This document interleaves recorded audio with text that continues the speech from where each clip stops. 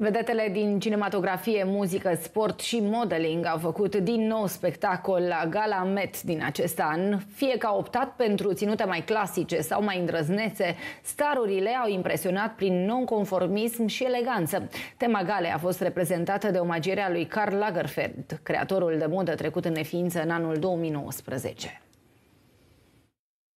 Margot Robbie a avut una dintre cele mai impresionante apariții de la Gala Met din acest an. Actrița australiană, nominalizată de două ori la premiile Oscar, a impresionat prin frumusețe și eleganță, purtând o rochie creată de Karl Lagerfeld în 1993 pentru casa de modă Chanel, prin care i-a adus un omagiu creatorului german. Nu a fost singura prezență remarcabilă din lumea cinematografiei. Și Anne Hathaway a primit multe laude pășind pe covorul roșu cu o rochie îndrăzneață semnată de Versace, iar Jessica Chastain, desemnată cea mai bună actriță în rol principal la premiile Oscar de anul trecut, a făcut furori cu o rochie elegantă de la brandul Gucci și vedetele din lumea modelingului au atras privirile fanilor prezenți. Irina Shayk a ales o ținută complet albă, accesorizată cu balerini. Emily Ratajkowski a purtat o rochie cu trenă lungă semnată de Tory Burch, iar Naomi Campbell, la cei 52 de ani, a avut o prezență foarte elegantă ընտրորոք եշանել